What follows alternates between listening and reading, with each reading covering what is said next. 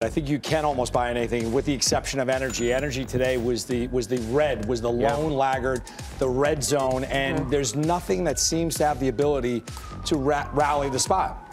Yeah. You watch oil. Everyone keeps watching oil. Saudi Aramco.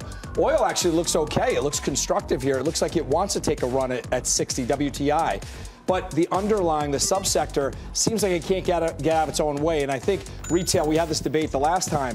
I think retail, there's been so much factored in on the negative side that it can't help but lift into, into year end. Burlington Stores, we talk about all the time, has the fundamentals that support the strength here. We'll continue to move taxes you know, no taxes, but well, no taxes would be that. taxes, they'll continue to move, but the fundamentals are supporting the story here. You look at a Macy's, Macy's business, you know, is completely still in secular decline, in my opinion. So the tax bump's going to help them, but I do believe that's a Macy's brand. So for me, I put my money where my mouth is. Goldman Sachs off of that 255 level. That's where you want to be long.